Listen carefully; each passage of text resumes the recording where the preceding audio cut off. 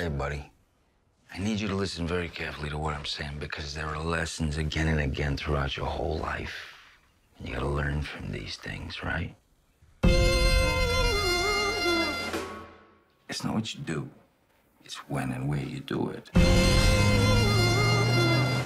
And who you do it to or with.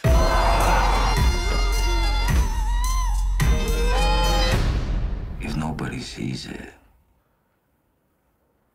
didn't happen. Jimmy, he's six. You really think that's the best thing to be telling your kid?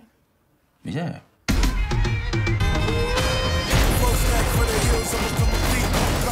Still smelling like 10 keys. You couldn't stop me if you tried. Cause the devil is a